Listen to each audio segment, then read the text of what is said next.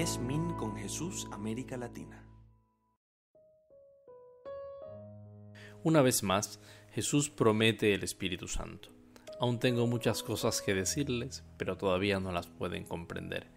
¿Por qué no las pueden comprender? Porque aún no han recibido el Espíritu Santo Paráclito y Salvador.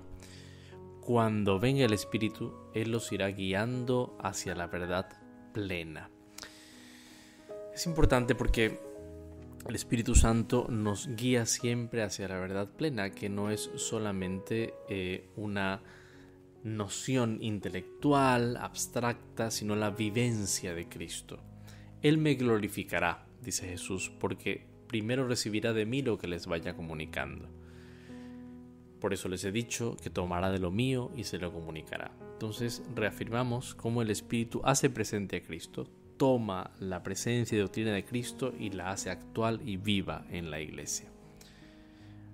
Vivamos pues la plenitud de la espera del Espíritu con emoción, con súplica, con esperanza y fe. Que Dios los bendiga.